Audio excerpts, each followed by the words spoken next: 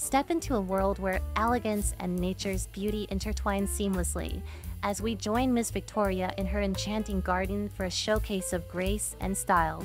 I'm Ms. Wes, guiding you through this serene journey of elegance amidst the blooms, proudly presented by Western Chic Runway.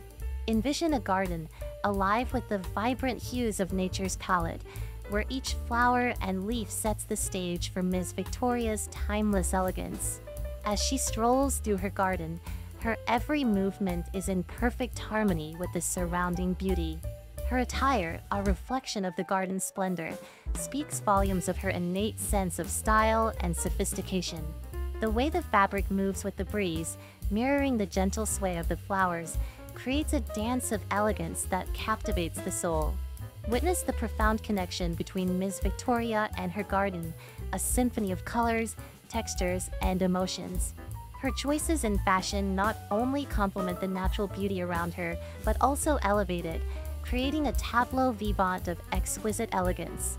Each ensemble tells a story, a narrative of grace woven through the threads of her attire against the backdrop of her blooming sanctuary. Through the lens of our camera, we capture the essence of this harmony, focusing on the subtle interplay of light and shadow, the delicate textures of her garments, and the natural grace with which Ms. Victoria embodies the spirit of her garden. These moments, frozen in time, offer a glimpse into a world where fashion and nature coalesce, crafting a visual feast that beckons the viewer to linger in the beauty of the moment. As we conclude our journey through Ms. Victoria's garden, we're reminded of the beauty that arises when elegance and nature converge.